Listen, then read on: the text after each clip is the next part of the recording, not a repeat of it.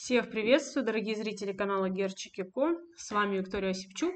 Сегодня у нас будет обзор э, рынка акций. Посмотрим с вами некоторые американские компании. Также посмотрим S&P 500. А, ну, начнем да, с S&P 500. Давайте посмотрим изначально вообще старший таймфрейм. Это месячный график, что происходит на нем. А, ну, могу сказать одно, что акции, которые идут за индексом S&P 500, сейчас идут в таком же шортовом э, настроении. То есть сейчас многие идут на снижение. S&P 500 также очень сильно упал за эту неделю. Да, если смотреть недельный график, вот, пожалуйста, видите, у нас очень сильно было падение. Причем падение у нас было в рамках широкого диапазона. То есть инструмент находится в нисходящем тренде.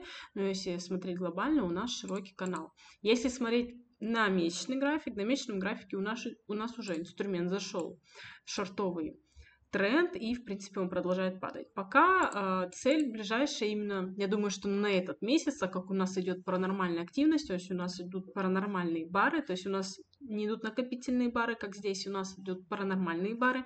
Это означает то, что, скорее всего, будут остановки, потому что с, с такого вот, а, с такими вот объемами не бывает того, такого, что сразу идет пробитие. Видите, где у нас паранормальные бары, там у нас идут развороты. Здесь то же самое. Вот, видите, поэтому а, здесь, я думаю, что этот месяц, а, буквально через несколько дней у нас будет закрытие сентября, и на отметке 36.30 мы, скорее всего, и закроемся. Как мы закроемся? Нужно смотреть, конечно, на месячный график, либо мы закроемся под самый low, возможно, а, ниже уровня. Вот, но если у нас будет бар паранормальный, и вся торговля будет вестись то есть активно вестись внутри паранормального бара, это не будет совсем хорошо для анализа в дальнейшем. Вот, поэтому пока падение, да, но как-то сейчас глобально говорить, будет ли пробой уровня 36-30, здесь уже сложно. Но скажу, скажу так, что тренд уже нисходящий на глобальном таймфрейме есть. Есть отметка, к которой мы подошли, да, это сильный уровень излом. Вот это low этого бара является очень сильным уровнем, уровнем излома. Вот поэтому здесь уже нужно смотреть по ситуации, как закроется месяц, и смотреть уже именно закрытие а, на дневке, на недельке, если у нас будут какие-то накопления вот здесь, вот, да, там под уровнем, либо а, консолидация на уровне, проторговка то мы можем, в принципе, рассчитывать на дальнейшее падение ниже уровня 36-30. Tesla. Tesla, Tesla сходит сейчас по-своему. Не могу сказать, что Тесла ходит за S&P 500. Тесла ходит, а, у нее свой характер цены, свое поведение. Могу сказать следующее. Здесь у нас есть определенные отметки. Да, почему я сейчас смотрю месячные графики, так как у нас сейчас конец месяца, и а, желательно за несколько дней открывать месячный график, будь то это акция, либо какой-либо другой инструмент, здесь будет уже легче определить вообще поведение рынка, направление и так далее.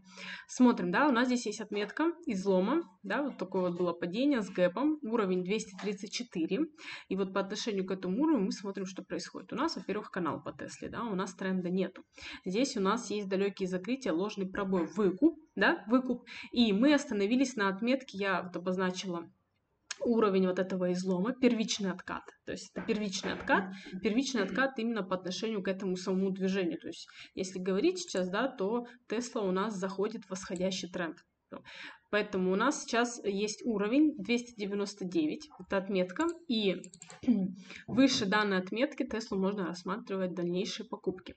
Здесь также на недельном графике у нас есть уровень излома, это, этот же уровень взят с, а, с, месяч, с месячного графика, но здесь он также, видите, подтверждается. Если смотреть дневку, то дневка у нас девка у нас, то есть здесь сейчас уровень выступает уровнем плавающим, да, вот у нас вот у нас отметка есть, здесь, да, повторяется, вот они, видите, здесь вот, видите, касание, поэтому закрытие, то есть у нас, если будет такой вот разворот, да, а, именно на ретест, если инструмент пойдет и закроется выше уровня 299.66, Теслу, конечно же, лучше покупать, да, у нас было сильное падение в пятницу, но смотрим все-таки на дневку, на более, на более старшие таймфреймы. Старшие таймфреймы говорят о том, что Tesla, скорее всего, продолжит рост вот после вот такой долгой консолидации на уровне.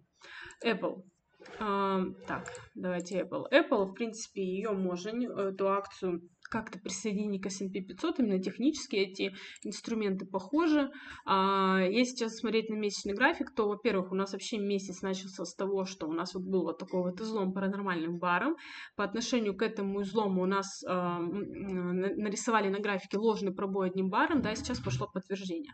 Поэтому у нас здесь есть своя отметка, вот он уровень излома раз, да, и вот он излом, уровень излома 2. То есть вот это зеркальный уровень, видите, вот подтверждается, это месячный график, уровень 149.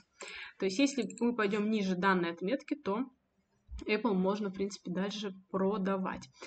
А что вообще, если посмотреть на недельном графике, что у нас здесь произошло? Здесь также э, стоит обратить внимание на такой сценарий. То есть у нас было падение, ложный пробой и вот такое вот сильное падение. Это означает то, что здесь сидят, сейчас, сейчас сидят в рынке крупные продавцы, э, тем более это паранормальный бар. И если посмотреть дневка, видите, дневка также у нас находится э, в шортах. Все, у нас нисходящий тренд. Вот он, нисходящий тренд. Поэтому вот у нас есть на дневном графике свой уровень излома. Вот он, у нас есть далекие закрытия, но мы видите, мы опять возвращаемся к этому уровню. Поэтому на этой неделе желательно смотреть закрытие ниже уровня 148.50, либо какое-то накопление, либо поджатие ниже уровня 148.50 по Apple. Это означает, что, скорее всего, инструмент пойдет ниже. Цели у него есть, цели падать, это уровень, вот он, а, даже можно ниже немножко взять, ориентироваться вот по этому излому и поэтому если Apple пойдет ниже, то э, целесообразнее его ожидать возле уровня 130-135, примерно вот так вот. American Express. А, так, American Express также продолжает падение. Все, видите, Многие акции сейчас находятся в снижении. Здесь также по отношению к этому первичному узлому у нас есть ложный пробой, инструмент, все, инструмент пошел. Здесь у нас было длинное безоткатное движение. По идее, с такого движения, да, у нас либо отбой, либо ложный пробой. Мы этого здесь не увидели, то, скорее всего, инструмент дальше опять сюда подойдет. То есть продавцы опять подойдут к этой отметке, чтобы что-то нарисовать, возможно, да, либо закончить свое движение. Поэтому уровень 134.06 по American Express пока является ближайшей целью. Вот на эту неделю American Express а, скорее всего, дальше будет падать, и отметка будет ближайшая 134,06. А, да, на эту неделю, потому что, видите, а, месяц закрывается, как раз-таки через неделю, я думаю, месяц близко закроется от данной отметки. Возможно, даже закроемся ниже уровня 134.06. Боинг. Боинг также падает у нас, находится в снижении. Здесь такая же, в принципе, ситуация. У нас есть безоткатное длинное движение в шорт, далекие закрытия, ложный пробой. Но, видите, не хватает объемов покупателям, чтобы идти дальше, да, то есть сложного пробоя, а, либо здесь вот накопление, по идее, да, должно быть, мы должны пойти дальше, но нет, видите, делают ретест, то есть в обратную сторону рисуют ложный пробой, и инструмент опять идет на ретест уровня 116.76, поэтому я думаю, что эта неделя по Боингу закроется также в снижении, и вот ближайшая цель это 116.76, поэтому я думаю, что Боинг упадет. А возможно, понедельник, вторник, да, у нас будут какие-то коррекции против тренда, но глобально, если смотреть, глобально у нас цели все-таки шортовые. А, так, Ford а, Motor компания также находится в снижении. Здесь аналогичная ситуация. Было длинное безоткатное движение, ложный пробой, да, не хватает объемов покупателей, мы опять идем на ретест. Поэтому а, по Ford Motor такая, такие же, в принципе, цели на снижение. Месяц закрывается в, ш, э, в шортовом направлении. Ближайшая цель по Ford Motor 10.90. Hershey компания также, также, нет, ну здесь смотрите, здесь немножечко по-другому. Здесь у нас дела обстоят так. Во-первых, у нас вот был тренд, да, начнем с того, что у нас компания была в таком глобальном восходящем тренде.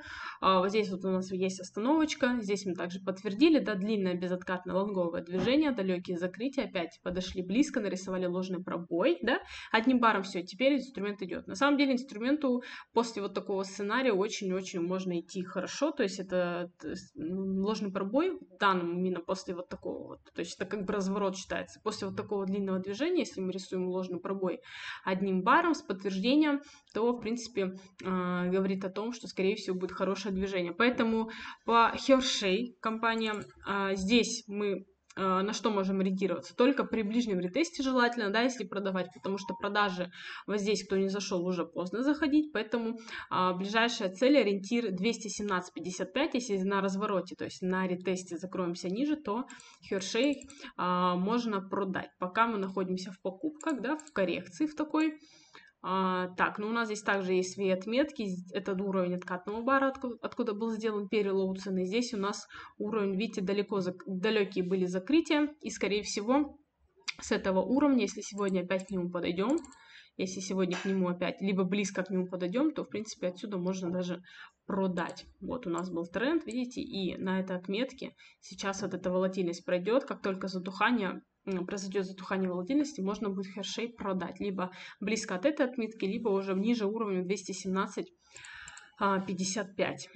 А, Moderna. Так, Moderna абсолютно. Здесь такое же падение, здесь есть хороший сценарий, это месячный график, длинное безоткатное движение, паранормальные бары, но когда у нас вот такие паранормальные бары, они ведут к развороту. Но когда у нас есть накопление внутри этого бара, это означает, что у нас идет продолжение движения. У нас накопление есть и очень хорошее, закрытие ниже уровня, видите, low этого бара 137.95, закрытие ниже, все. И Moderna, скорее всего, у нас будет падать при, примерно на такое же расстояние, ближайшие цели 87.92 ориентируюсь вот по вот этому узлу. Поэтому Модерна тоже вниз. Netflix. Netflix, также компания, как и Tesla, смотрится сейчас сильнее рынка, не смотрится в шорт совершенно. Здесь, наоборот, таки все пока за лонги по Netflix. Здесь у нас есть паранормальный бар, накопление, да, но видите, выкуп пошел. То есть мы не остались в этом диапазоне, мы пытаемся сейчас зайти в лонговую, такую достаточно уверенную лонговую зону выше уровня 230-13. Поэтому на дневке обращайте внимание именно на данную отметку выше уровня 230-13 так, ну на девке давайте немножко по-другому, наверное, нарисуем, чтобы было... А, так, вот, наверное, да, вот у нас, вот он излом, вот он. Все по отношению к этому уровню, что у нас происходит. Мы смотрим. Видите, ложные пробои, но всячески они не реализовываются, опять идет ретест. Поэтому от уровня 224.59 Netflix, конечно же, лучше а, покупать. Но опять же, покупать как? Не сразу, да, сейчас мы находимся в таком волатильном шортовом движении.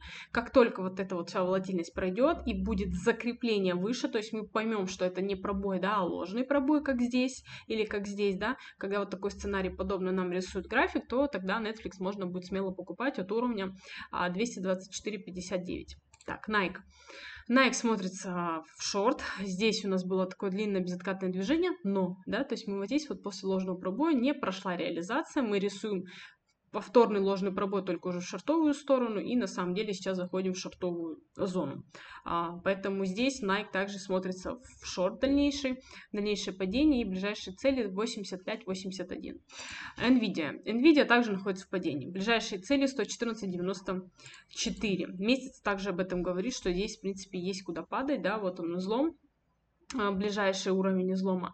114.94 это ближайшая цель по NVIDIA. Все, ребята, вот такой вот обзор на эту неделю. В принципе, инструменты, думаю, что многие можно допродать, то есть они находятся сейчас в снижении, и остается только ждать хорошей точки внутри дня и брать достаточно неплохие движения. Всем успешной торговли, всем пока.